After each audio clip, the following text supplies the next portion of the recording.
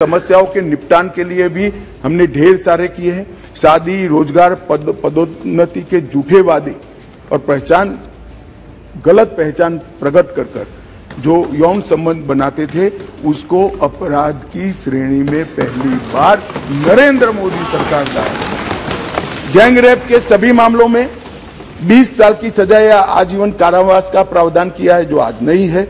18 वर्ष से कम आयु की बच्चियों के मामले में मृत्यु दंड का भी प्रावधान मान्यवर मॉब लिंचिंग का बड़ा शोर मचा है।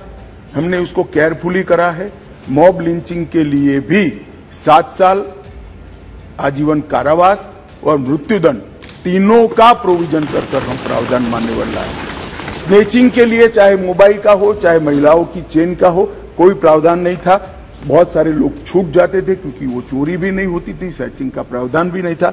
अब स्नेचिंग का भी प्रावधान ले यौन हिंसा के मामले में पीड़िता का बयान कंपलसरी कर दिया गया है और यौन उत्पीड़न के मामले में बयान का वीडियो रिकॉर्डिंग भी अब कंपलसरी कर दिया है। मान्यवर पुलिस को 90 दिन में जिसने फरियाद की है, इसका स्टेटस देना हमने कंपलसरी कर दिया है। 90 दिन में उसका स्टेटस देना पड़ेगा और हर 15 दिन में फरियादी को अपना स्टेटस भेजना पड़ेगा। सात वर्ष या उससे अधिक के कारावास का केस अगर विड्रॉ करना है तो पीड़ित को सुने बगैर कोई भी सरकार इसको विड्रॉ नहीं कर पाएगी। समस्याओं के निपटान के लिए भी हमने ढेर सारे किए हैं। शादी, रोज़गार, पद, पदोन्नति के झूठे वादे और पहचान गलत पहचान प्रकट कर कर जो यौन संबंध बनाते थे, उसको अपराध की श्रेणी में पहली बार नरेंद्र मोदी सरकार लाए गैंग रेप के सभी मामलों में 20 साल की सजा या आजीवन कारावास का प्रावधान किया है, जो आज नहीं है।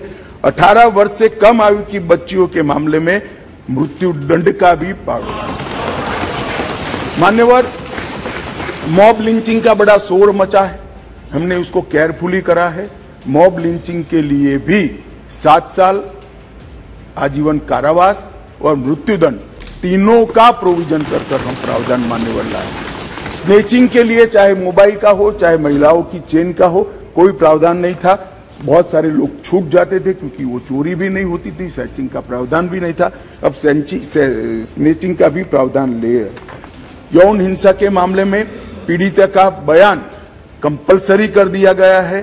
और यौन उत्पीड़न के मामले में बयान का वीडियो रिकॉर्डिंग भी अब कंपलसरी कर दिया है। मान्यवर, पुलिस को 90 दिन में जिसने फरियाद की है, इसका स्टेटस देना हमने कंपलसरी कर दिया है। 90 दिन में उसका स्टेटस देना पड़ेगा और हर 15 दिन में फरियादी को अपना स्टेटस भेजना पड़ेगा। सात वर्ष या उससे अधिक के कारावास का केस अगर विड्रॉ करना है तो पीड़ित को सुने बगैर कोई भी सरकार इसको विड्रॉ नहीं कर पाएगी।